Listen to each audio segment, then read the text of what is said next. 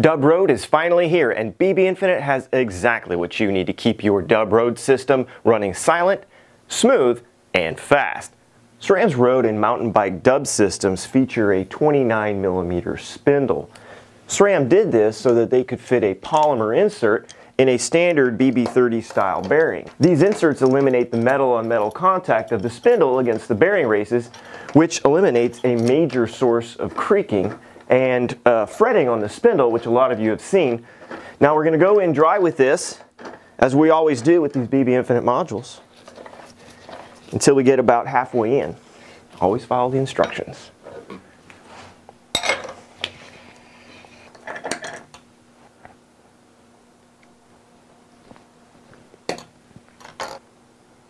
Another great feature of the dub system is the wide stance of the bearings. SRAM touts this as a stiffness increase when pedaling. What excites us about this is the elimination of the cantilevering forces that are caused when spindles extend way out past the bearings, such as the traditional 68mm BB with a modern 386 EVO crank installed. Here's that popping. Remember, you want this. These forces accelerate bearing wear and greatly contribute to creaking issues. But with dub, that problem is solved.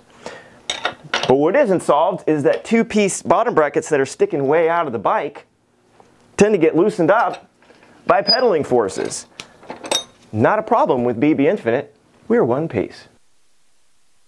Next, I'm just going to apply a little bit of grease to the face of the bearings. This helps these to stick on there while I assemble everything.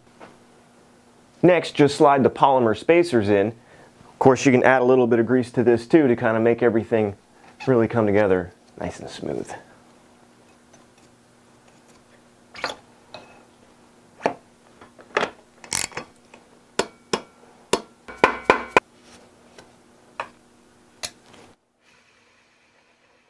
Visit bbinfinite.com to find all the ways you can become infinitely faster.